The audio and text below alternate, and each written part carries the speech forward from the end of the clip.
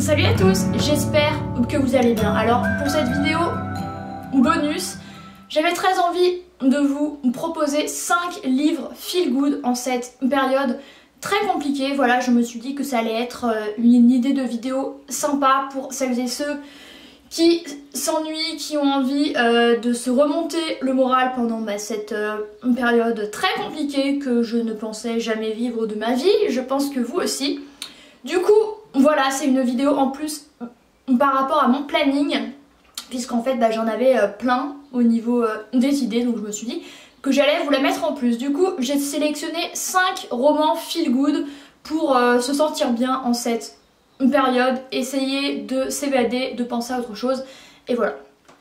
Alors, ce sont quasiment que des romans dont je vous ai déjà parlé, je les regarde, mais il me semble que oui. Alors, le premier c'est Poppy et les métamorphoses de Laurie Frankel que j'ai lu en 2018 il me semble. Ça a été un véritable coup de cœur, je crois que je l'avais mis, c'est même sûr, dans mes romans préférés lus entre juillet et décembre 2018. Ça a été un petit bijou. Donc euh, je pense que vous pouvez commander sur des sites comme... Euh, place des libraires, même la FNAC et tout, je crois que les livraisons fonctionnent. Enfin, actuellement, j'ai reçu un colis de fringues et de beauté, donc je crois que ça marche. Enfin, que c'est un petit peu plus lent, mais je pense que ça fonctionne pour du coup vous euh, procurer les livres dont je vais vous parler. Donc celui-ci, c'est un véritable bijou, il est assez particulier mais il est génial. Donc on va suivre un couple qui s'appelle Rosie et Pen qui ont toujours rêvé d'avoir une fille. Ils ont eu quatre fils et en fait ben le, dernier enfant est encore un fils. Donc il l'appelle Claude, mais ce petit Claude euh, ressent le fait qu'il est plutôt une fille, il porte des robes, il agit un petit peu comme une petite fille. En fait il a du mal à s'identifier à un petit garçon donc c'est vraiment une histoire en rapport avec notre actualité au niveau de la transsexualité, du fait que les gens ont, parfois du mal à se reconnaître comme homme ou femme, ou garçon ou fille. C'est un très beau livre sur du coup la différence, sur l'acceptation de son enfant puisque les parents vont complètement aller dans son sens, même si au début c'est difficile puisqu'il porte des robes à l'école, il se fait brimer forcément, et au bout d'un moment, bah ça va se passer bien quoi. Voilà, c'est une très très belle histoire. Ils vont devoir déménager plusieurs fois pour leur enfant qui se fait brimer. Mais ensuite il va être accepté, euh, tout le monde va croire que c'est une petite fille et tout va bien se passer. Alors bien sûr ce n'est pas non plus tout rose puisque Claude bah, va vivre des brimades. Les parents vont...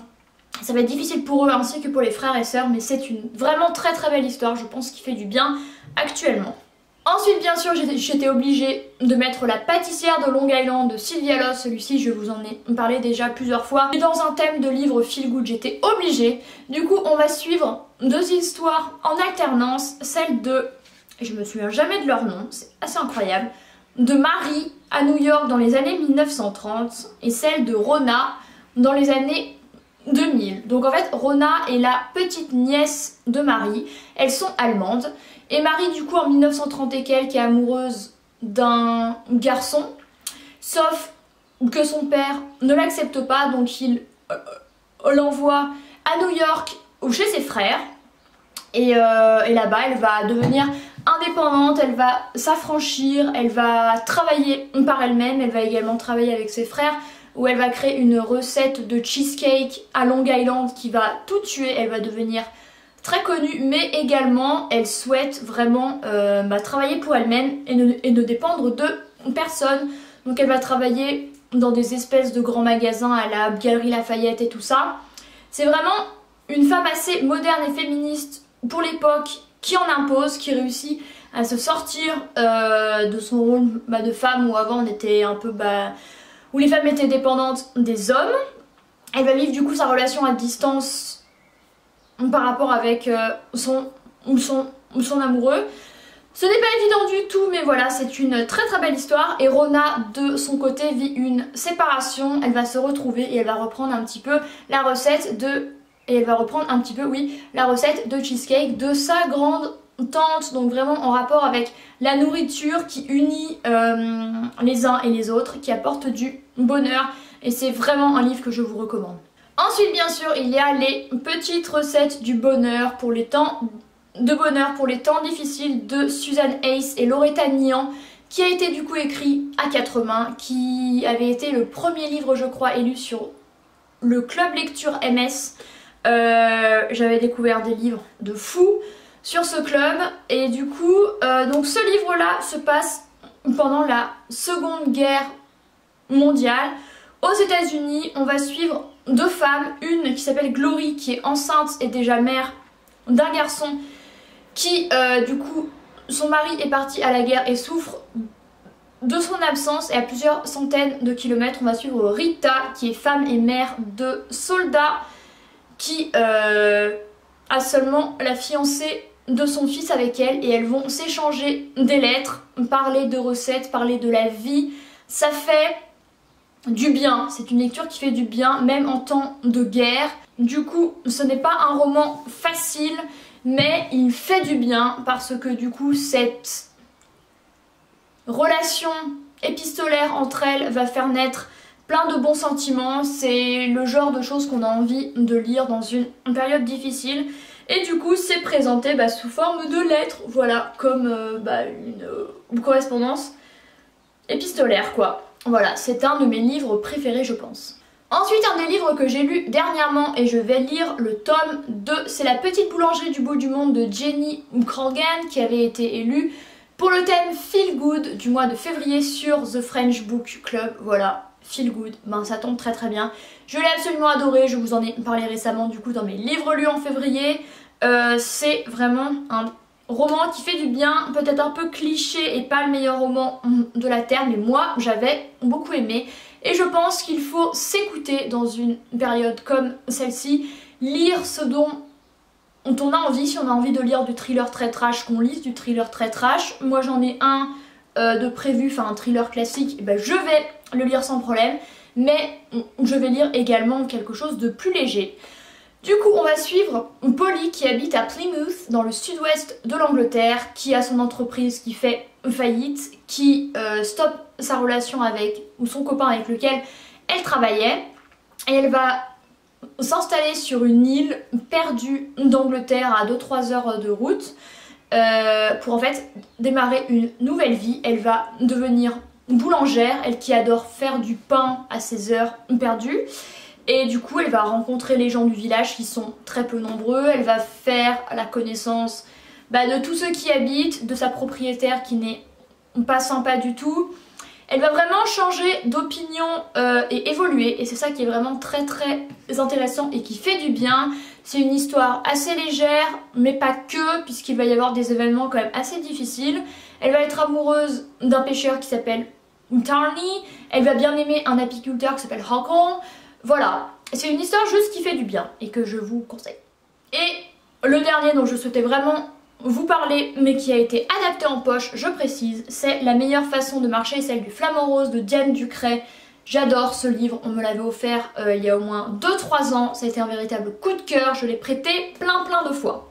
Donc ça, c'est une autobiographie de Diane Ducret qui dernièrement a sorti La dictatrice, qui est une dystopie que j'ai très envie de lire mais que je lirai l'année prochaine lorsqu'il sera adapté en poche parce que vous savez que les dystopies et moi c'est je t'aime moi non plus je vous avais fait une vidéo sur ça que je vous laisserai juste ici. Du coup si je claque 20 et quelques euros dans un roman et qu'il me saoule c'est compliqué. Donc du coup euh, donc au début je n'ai pas tout de suite compris qu'il s'agissait d'une autobiographie vu qu'en fait le personnage principal s'appelle Enaïde. Enaïde c'est l'anagramme de Diane à l'envers. Voilà. Donc, euh, en fait, elle va nous raconter sa vie de son enfance à son adolescence, à l'âge adulte, dans tous les endroits où elle a vécu. Elle a vécu du coup dans le sud-ouest avec ses grands-parents vers Biarritz, où elle a bien fait la fête, elle a été élevée par eux, elle a un peu tombé dans la drogue, alcool, c'était pas Jojo. Ensuite, elle a habité à Paris où elle a étudié à la Sorbonne. Ensuite, elle a habité à Rome, je crois, où elle tombe amoureuse d'un Italien. Ensuite, elle a vécu, je sais, au Canada. Elle a eu une grosse opération à la jambe ou au pied. Enfin, vraiment, elle a une vie pas facile du tout. en manque de repères familiaux avec une enfance un petit peu chaotique, mais pour autant c'est une jeune femme bah, qui a réussi sa vie quoi, qui écrit, qui est superbe, qui a l'air d'être euh, très intellectuelle, elle est souvent invitée à, des émissions, des émissions de radio, à la télé et tout. Et vraiment ça redonne foi en l'humanité en se disant que même si on a une enfance difficile et des moments difficiles dans la vie, eh ben on peut s'en sortir et c'est vraiment très très très chouette. C'est un roman qui est plein d'autodérision, je l'ai trouvé très légère avec elle-même. Euh, la façon dont elle relâche certains événements, j'étais en mode mais comment ça peut être autobiographique? Comment elle peut réussir à prendre autant de distance par rapport à ce qu'elle a vécu? Du coup je l'ai admirée du début à la fin. J'ai adoré ce livre. Euh, elle a également écrit L'homme idéal existe, il est québécois, qui est une autre facette de sa vie en fait, donc qui est très très court, que je vous conseille vivement, qui est également vraiment très très chouette, mais du coup beaucoup plus court. Mais alors celui-ci, je vous jure que c'est un coup de cœur intersidéral, je vous le conseille vivement. Je pense qu'il peut faire du bien à vraiment vraiment tout le monde. Donc voilà, c'en est tout pour cette vidéo des livres feel good, de 5 livres feel good que je vous recommande en cette période. En plus c'est une idée de vidéo que j'avais depuis un moment mais que je ne savais pas forcément quand proposer. En plus les titres me sont venus euh, très rapidement parce que j'ai pas mal de livres qui font du bien à lire dans ma bibliothèque. Du coup je pense que c'est le type de vidéo que je vous reproposerai, je ne sais pas quand, en fonction de comment la situation évolue. En plus j'ai d'autres idées de vidéos à vous proposer. Donc voilà, merci beaucoup d'avoir regardé celle-ci. N'hésitez surtout pas à lui mettre un pouce en l'air si vous l'avez aimé, à vous abonner, ça me fait très plaisir et ça me montre que vous aimez mes vidéos. N'hésitez pas également à vous rendre sur mon lien YouTube qui sera dans la barre d'infos, qui est une plateforme sur laquelle vous pouvez euh, soutenir les créateurs de contenu en regardant quelques publicités de quelques secondes qui à chaque fois rapportent des centimes aux créateurs. Voilà parce que hum, YouTube ne me rapporte rien, c'est une passion bien sûr, mais ça me fait vraiment plaisir si vous pouvez le faire de temps en temps, ça me montre que vous êtes là et ça, bah, ça met du baume au cœur, je pense que tout le monde en a besoin en ce moment. Voilà, merci beaucoup d'avoir regardé cette vidéo et je vous retrouve du coup mercredi comme d'habitude pour une nouvelle. Bye